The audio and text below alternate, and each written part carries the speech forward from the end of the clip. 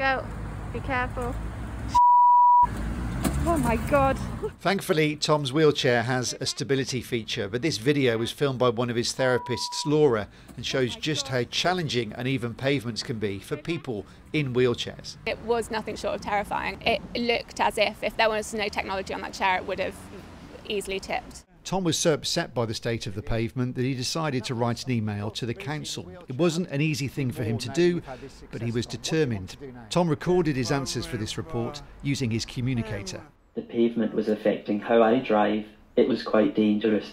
He has an adaptive keyboard, but it's still a laborious task and is very fatiguing and it requires a lot of stretching of his upper limbs, wearing of splints, which are very uncomfortable. So, yeah, um, full credit to him. But the effort was worth it because within a few weeks the pavement was fixed, and Tom now wants to build on that success. I want more pavements to be fixed like this one to make Cheltenham easier to get around. You couldn't get the rest of it done for us, could you?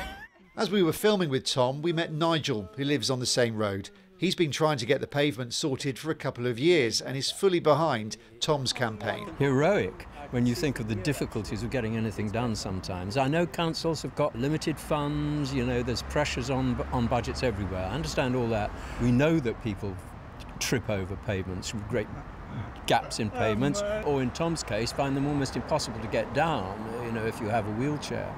Uh, and so you have to ask, you know, what are the council spending the money on? And sometimes I worry about the priorities.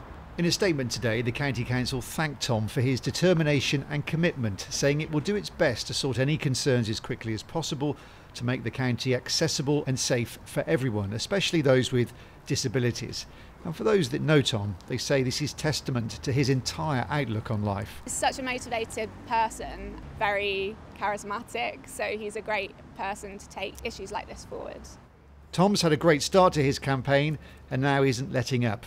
He doesn't, though, have to look too far before finding more bumps in the pavement that need fixing. Steve Knibbs, BBC Points West, Cheltenham.